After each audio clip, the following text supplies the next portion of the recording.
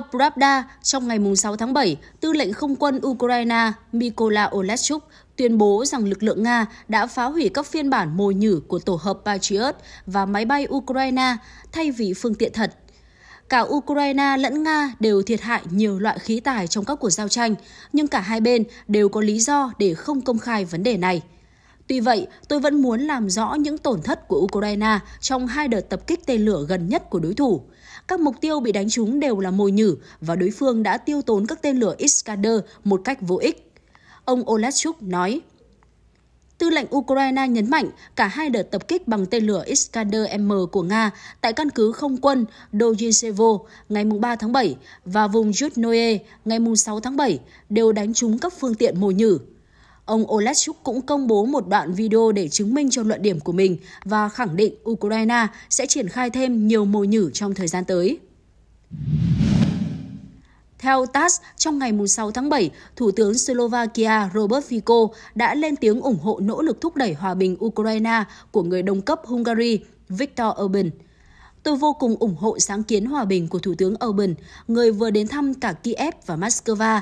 Không có giải pháp quân sự nào cho cuộc xung đột, tôi ủng hộ một lệnh ngừng bắn ngay lập tức và mong muốn khởi động các cuộc đàm phán hòa bình có sự tham gia của Nga, Ukraine, Mỹ, Trung Quốc và EU, ông Fico cho biết.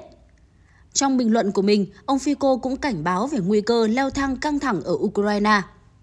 Chúng ta không thể đạt được hòa bình bằng tối hậu thư nào hoặc những điều kiện phi thực tế. Việc đàm phán là khó khăn nhưng vẫn tốt hơn việc giao tranh ở tiền tuyến. Thủ tướng Slovakia nói thêm. Theo Kyiv Independent, trong ngày 6 tháng 7, Bộ Quốc phòng Ukraine đã xác nhận việc nhận được các hệ thống phòng Mistral do Estonia viện trợ. Mistral là hệ thống tên lửa đất đối không tiên tiến được phát triển ở Pháp. Hệ thống này có tầm bắn 6 km và được thiết kế để bảo vệ các mục tiêu trên mặt đất khỏi máy bay và trực thăng bay ở tầm thấp.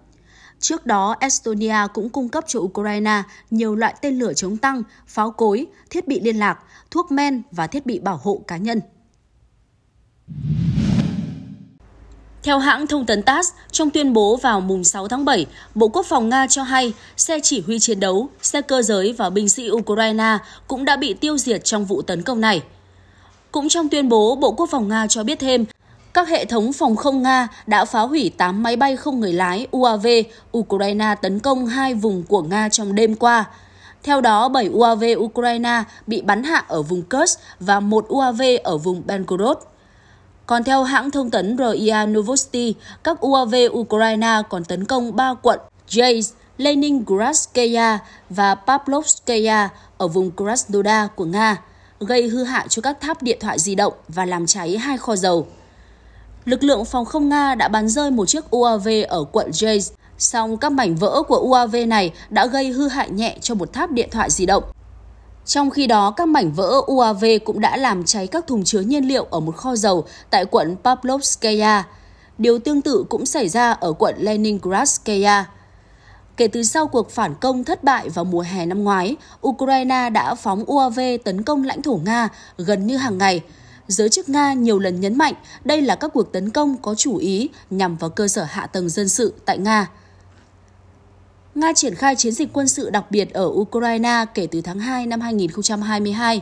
Tổng thống Vladimir Putin cho biết mục tiêu cuối cùng của chiến dịch là giải phóng vùng Donbass ở Ukraine và tạo điều kiện đảm bảo an ninh cho Nga. Tổng thống Nga Vladimir Putin cho biết ông không thấy cơ hội nào để ký kết bất kỳ thỏa thuận nào về Ukraine thông qua bên trung gian. Hãng thông tấn TASS ngày 5 tháng 7 đưa tin. Nguồn tin trên dẫn lời Tổng thống Putin nêu rõ, chúng tôi luôn ủng hộ đàm phán, mọi người biết rõ điều đó. Chúng tôi chưa bao giờ từ bỏ đàm phán.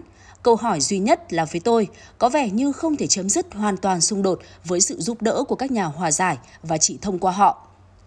Tuyên bố trên được ông Putin đưa ra khi trả lời câu hỏi về quan điểm của Tổng thống Ukraine Volodymyr Zelensky rằng có thể đàm phán với Nga thông qua các bên trung gian. Trước hết, lý do là vì khó có khả năng một bên trung gian sẽ có đủ thẩm quyền để ký các văn bản cuối cùng. Tổng thống Putin lưu ý.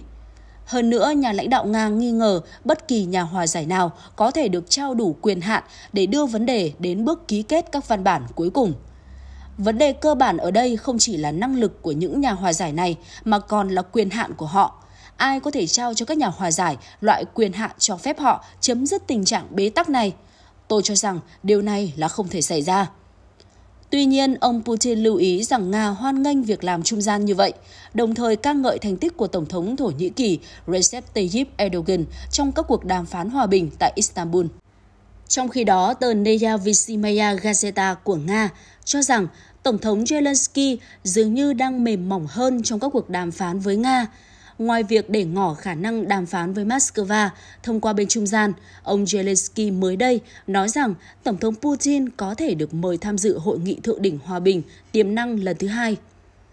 Nhà lãnh đạo Ukraine cũng cho biết cựu Tổng thống Mỹ Donald Trump nên tiết lộ kế hoạch giải quyết xung đột với Nga để Kiev biết vị thế của mình trong tương lai. Các chuyên gia nhận định rằng những bình luận trên của ông Zelensky báo hiệu sự thay đổi so với các cách tiếp cận trước đây. Oleg Barabanov, giáo sư tại Đại học Quan hệ Quốc tế Moscow và giám đốc chương trình của câu lạc bộ quốc tế Van cho biết rõ ràng là Tổng thống Ukraine vẫn tiếp tục thúc đẩy công thức hòa bình của mình, nhưng đồng thời vì Ukraine đang phải đối mặt với áp lực từ mọi phía, bao gồm cả từ phía nam toàn cầu, các nước đang phát triển và mới nổi ngoài phương Tây. Ông Zelensky đang tìm cách chứng tỏ rằng mình đã sẵn sàng tham gia đàm phán. Theo ông Barabanov, giống như Ukraine, Nga cũng đang chịu ảnh hưởng của các quốc gia nam toàn cầu thân thiện hoặc trung lập với mình. Tuy nhiên, có vẻ như tình hình chung sẽ không thay đổi đáng kể cho đến cuộc bầu cử tổng thống vào tháng 11 năm nay tại Mỹ.